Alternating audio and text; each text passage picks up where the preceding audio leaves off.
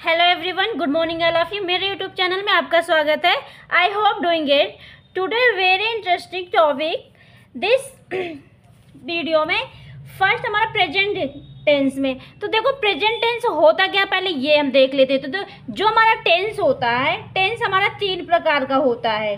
Tense हमारा तीन type की होती है. फ़र्स्ट होता है प्रेजेंट ये है टेंस टेंस का मतलब होता है टाइम टेंस का मतलब होता है जो टाइम पीरियड हमारा चलता है तो ये टेंस जो है तीन प्रकार का होता है। पहला होता है प्रेजेंट पहला क्या होता है? प्रेजेंट टेंस नेक्स्ट आता है हमारा तीस, दूसरा। तो दूसरा हमारा आता है पास्ट टेंस पास्ट टेंस तीसरा आता है हमारा फ्यूचर टेंस क्या आता है? Future tense future tense future tense ये होता है। टेंस हमारे कितने प्रकार के हैं? तीन टाइप के होते हैं present tense past tense and future tense present को हम हिंदी में बोलते हैं वर्तमान काल। क्या बोलते हैं? वर्तमान काल। पास्ट को बोलते हैं भूतकाल। पास्ट टेंस को हम बोलते हैं भूतकाल एंड फ्यूचर टेंस को हम बोलते हैं भविष्यकाल। क्या बोलते हैं? भविष्य काल।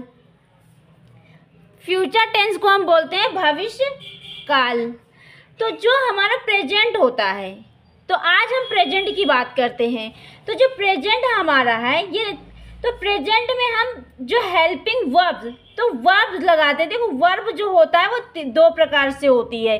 वर्ब भी हमारे तो दो टाइप की होती है। पहली होती है हमारा मेन वर्ब क्या आता है? मेन वर्ब होती है। मेन वर्ब होती है, मेन वर्ब वो होते हैं जो एक्शन करते हैं, जैसे कम, गोट, ये सारे हमारे क्या मेन वर्ब हुआ। एग्ज़ाम्पल के तौर पर जैसे गो हो गए, कम ईट ये सारे हमारी वर्ब है, ये मेन वर्ब है। सेकेंड आता हमारा हेल्पिंग वर्ब क्या आता है? हेल्पिंग वर्ब वर्ब दो प्रकार के होते हैं। फ़र्स्ट है हमारा मेन वर्ब जो गो, कम, ईट, जो इसमें एक्शन होते हैं, ये सारे हमारे हेल्पिंग वर्ब होते हैं। ठीक?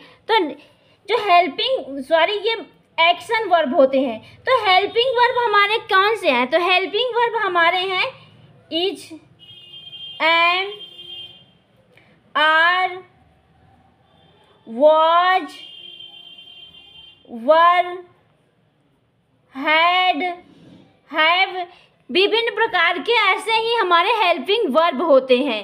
तो वर्ब आपने समझ लिया कि मेन दो प्रकार के होते हैं main verb and helping verb helping verb ये हमारे दो प्रकार के थे। तो अब देखो जो मेन वर्ब होता है। मेन वर्ब और हेल्पिंग वर्ब मिल के ही सेंटेंस बनता है। जब हम प्रेजेंट टेंस की बात करते हैं या फ्यू पास्ट की बात करें या फ्यूचर की बात करें main verb and helping verb मिल के ही हमारा सेंटेंस का निर्माण होता है। तो अब हम, आज हमारा फोकस है किसमें? प्रेजेंट टेंस में। तो प्रेजेंट टेंस की मतलब समझ गए हैं कि प्रेजेंट टेंस का मतलब वर्तमान काल है, जो वर्तमान में जो चल रहा है। जैसे आप वीडियो देख रहे हैं तो ये वर्तमान है। प्रेजेंट की बात है प्रेजेंट की बात है ना? प्रेजेंट में आप वीडियो देख रहे हो। तो ये हो जाता है हमारा प्रेजेंट टेंस तो प्रेजेंट की हेल्पिंग वर्ब जो होती है जो हेल्पिंग वर्ब होती है। हेल्पिंग वर्ब हमारे प्रेजेंट की एक होता है इज़ एम एंड आर ये है प्रेजेंट टेंस का हेल्पिंग वर्ब इनडेफिनिट में। तो अब देखो, अब हमें ये कंफ्यूजन है कि इज़ कहाँ पे लगाएँगे एम कहाँ पे लगाएँगे आर कहाँ पे लगाएँगे। तो इज़ एम आर लगाएँगे। देखो, सिंगुलर के साथ हम इज़ लगाएँगे। सिंगुलर के साथ। तो अब पहले हम सिंगुलर देख लेते हैं। सिंगुलर वर्ब किसे बोलते हैं? तो सिंगुलर हमारा होता है जैसे he, sorry, she, he, it, या किसी का नाम जैसे राम हो गया। ये हमारे क्या है? सिंगुलर हैं। क्या है?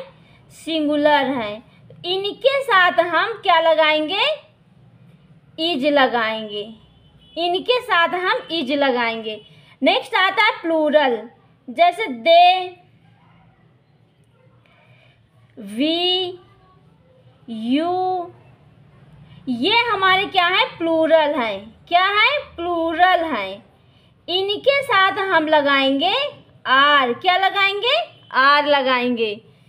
दे वी यू, ये प्लूरल नेम दो या दो से अधिक जो नाम आता है, उन, उसे हम प्लूरल बोलते हैं, और इनके साथ हम आर लगाएँगे। एक हमारा बचता है आई आई के साथ ही हम एम लगाते हैं। जो एम है आई के साथ आएगा, बाकी किसी के साथ नहीं आएगा, चाहे सिंगुलर हो या प्लूरल हो। किसी के साथ नहीं आता है, सिर्फ़ आई के साथ हम एम का यूज़ करते हैं।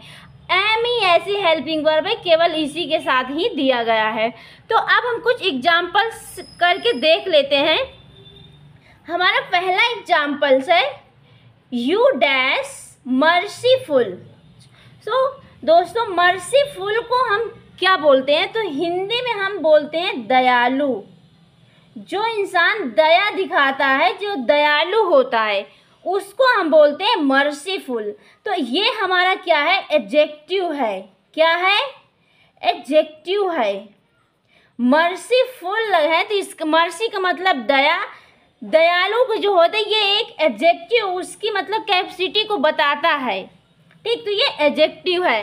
तो यहाँ पे हम क्या लगाएँगे? इज़ लगाएँगे. यू सॉरी यू इस ये क्या है हमारा? प्लूरल है ना? प्लूरल है. तो इसका मतलब प्लूरल के साथ हमने देखा था कि आर लगाते हैं। प्लूरल के साथ आर लगाते हैं। तो यहाँ पे यू आर लगेगा। क्या लगेगा? यू आर मर्सीफुल तुम दयालु हो। हिंदी में बोला जाएगा। नेक्स्ट सेंटेंस है दे, डैश, फॉर्चुनेट। देखो, फॉर्चुनेट का मतलब होता है भाग्यशाली। क्या होता है? भाग्यशाली। जो लकी होता है। लकी का मतलब भी होता है भाग्यशाली फॉर्चुनेट का मतलब भी होता है भाग्यशाली। तो दे है तो इसका मतलब ये हमारा प्लूरल है।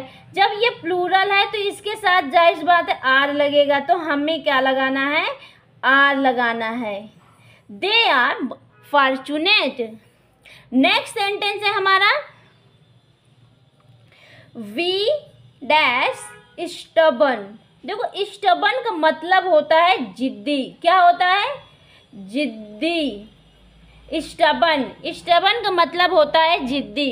तो वी जो है हमारा प्लूरल है तो इसका मतलब है आर आएगा तो आर लगाएँगे। वी आर स्टबन आप वी का मतलब होता है हम तो हम जिद्दी हैं।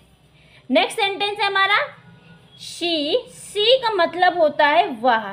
देखो सी का मतलब होता है वह एंड ही का मतलब भी होता है वह। तो अब कंफ्यूज मत होना ही जो होता है वो लड़के के लिए होता है। लड़के, लड़का के लिए होता है। ही जो है लड़का के लिए होता है। ही का मतलब होता है वह, लड़का के लिए। अगर कोई लड़की है, क्या है? लड़की है तो वहाँ पे भी शी होता है, वह के लिए। तो शी सी लगाएँगे हम, वह लड़की के लिए ही लगाएँगे हम, वह लड़का के लिए। कंफ्यूज मत होना इसमें। तो शी एक, ये सिंगुलर है, क्या है? सिंगुलर है। जब हम सिंगुलर के साथ लगाते हैं तो इज़ लगाते हैं। क्या लगाते हैं? इज़ लगा तो शी हमारा क्या है? सिंगुलर है तो इसलिए हम यहाँ पे इज़ लगाएँगे। शी इज़ फुलिस फुलिस का मतलब होता है मंद बुद्धि या मूर्ख। क्या होता है? मूर्ख। फुलिस का मतलब। नेक्स्ट सेंटेंस है आई देखो आई का मतलब होता है मैं। आई का मतलब होता है मैं। और आई एक ऐसा ही सब्जेक्ट है कि इसी के साथ हेल्पिंग वर्ब एम लगती है, बाकी एम किसी के साथ नहीं लगता। तो I dash I dash curious तो देखो क्यूरियस को हिंदी में हम बोलते हैं उत्सुक। क्या बोलते हैं? उत्सुक। क्यूरियस उत्सुक। तो आई एम क्यूरियस इसको क्यूरियस पढ़ा जाएगा। क्यूरियस नेक्स्ट सेंटेंस हमारा दे।